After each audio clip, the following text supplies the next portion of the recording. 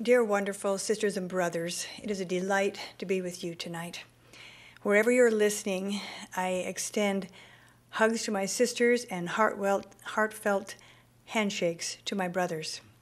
We are united in the work of the Lord. When we think of Adam and Eve, often our first thought is of their idyllic life in the Garden of Eden.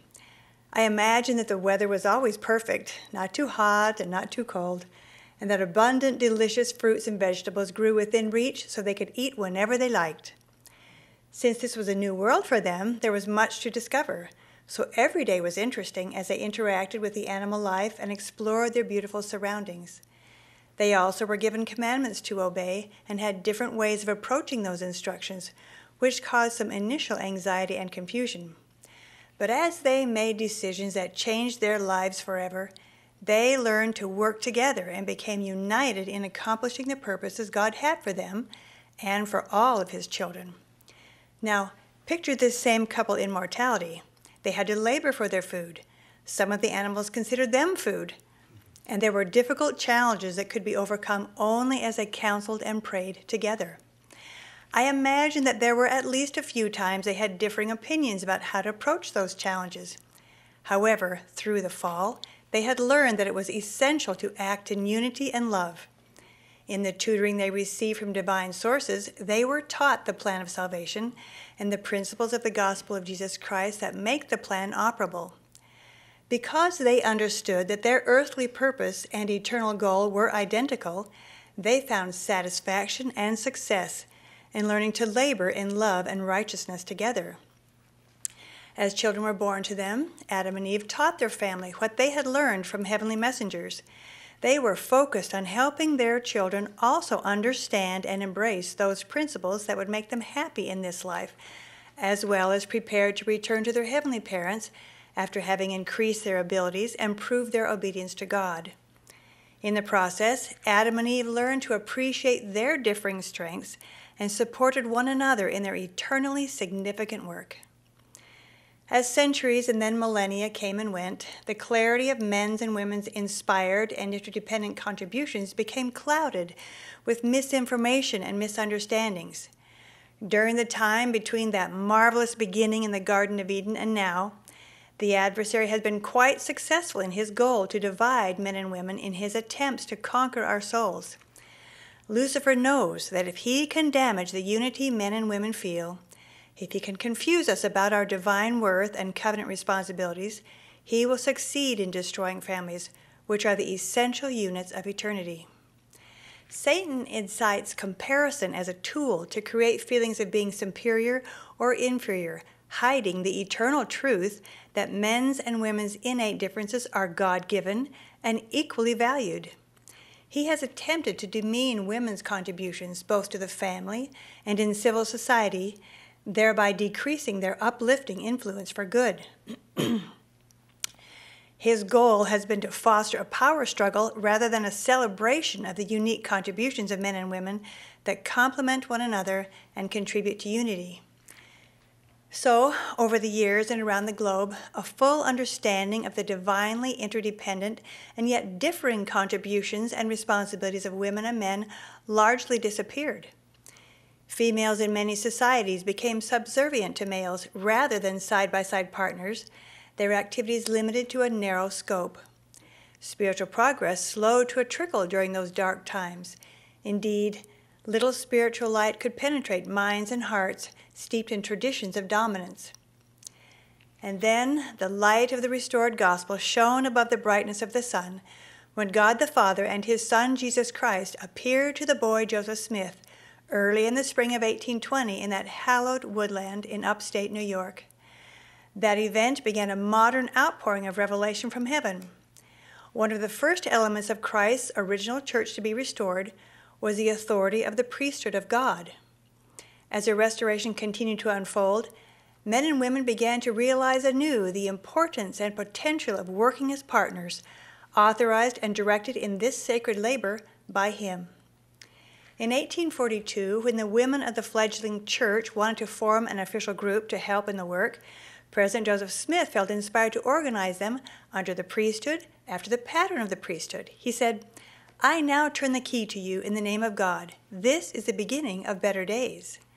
And since that key was turned, educational, political, and economic opportunities for women have begun to gradually expand throughout the world.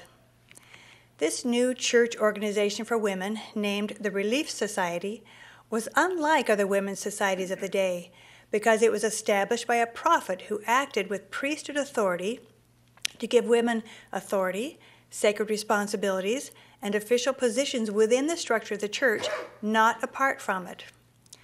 From the prophet Joseph Smith's day to ours, the ongoing restoration of all things has brought enlightenment on the necessity of the authority and power of the priesthood in helping both men and women accomplish their divinely appointed responsibilities. Recently, we have been taught that women who are set apart under the direction of one holding priesthood keys operate with priesthood authority in their callings. In October 2019, President Russell M. Nelson taught that women who are endowed in the temple have priesthood power in their lives and in their homes as they keep those sacred covenants they made with God. He explained that the heavens are just as open to women who are endowed with God's power flowing from their priesthood covenants as they are to men who bear the priesthood.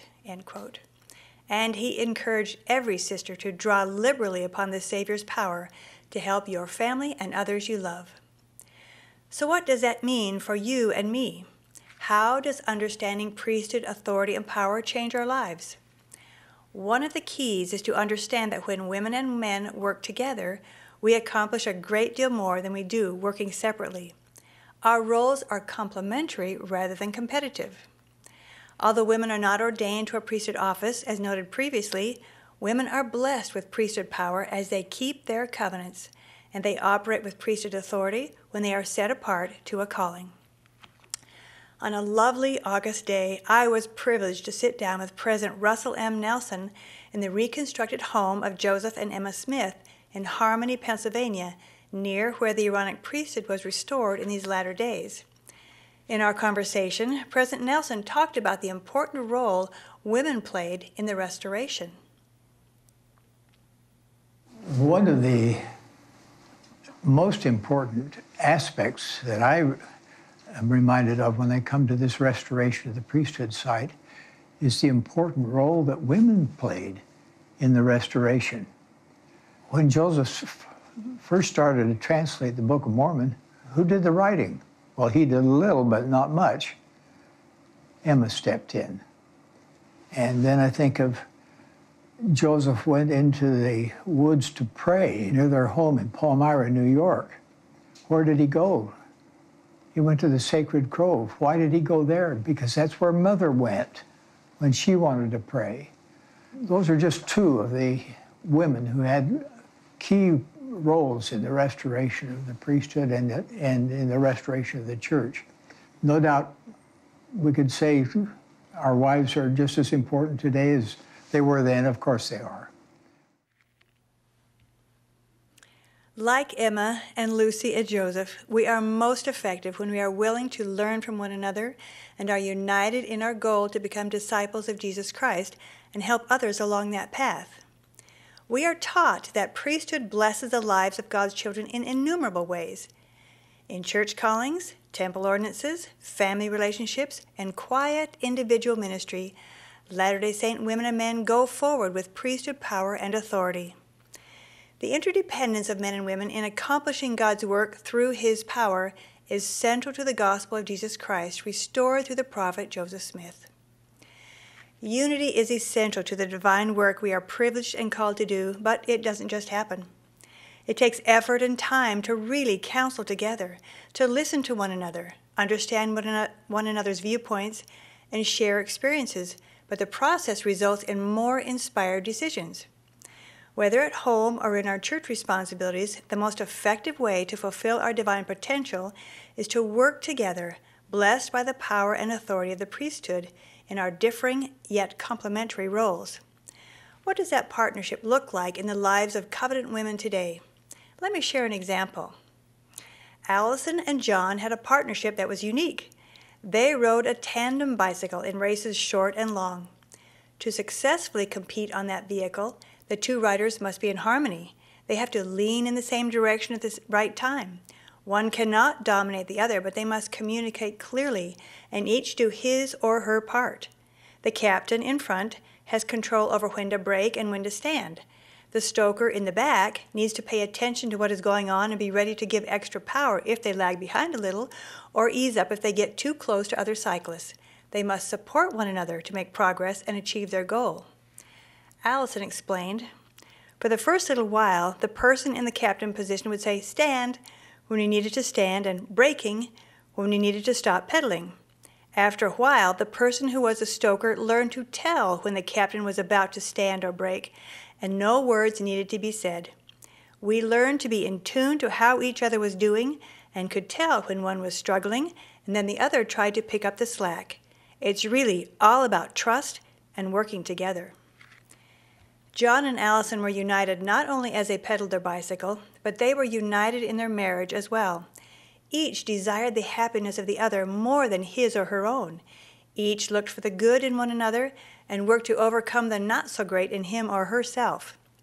They took turns leading and took turns giving more when one partner was struggling. Each valued the other's contributions and found better answers to their challenges as they combined their talents and resources. They are truly bound to one another through Christ like love.